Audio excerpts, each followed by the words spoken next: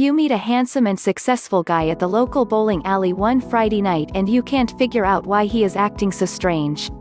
You aren't sure but you have an idea that he might be nervous.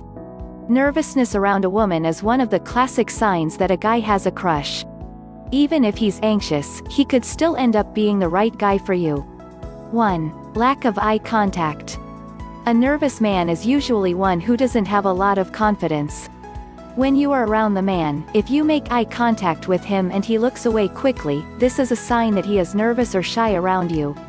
Not being able to hold eye contact for a length of time is a sure sign he is not very confident in your presence and could be suffering from nervousness. 2. Perspiration. You notice little beads of sweat forming on his forehead, and it's 40 degrees Fahrenheit outside.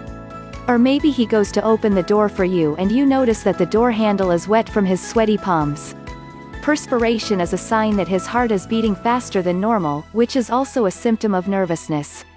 But sorry, if you are hanging out playing a game of tennis, his sweat is due to physical activity. 3. Talks about himself. You may think that the guy is a bit chattier than normal. He seems uncomfortable with silence and can't stop talking about himself. Most likely he is nervous that you won't like him and is desperate to impress you with his intellectual prowess or his many successes.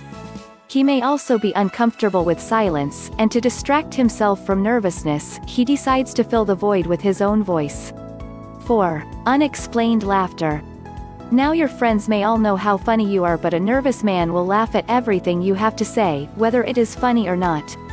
Unexplained laughter is a sure sign of nervousness. A nervous man will laugh sometimes when he doesn't realize he's doing so.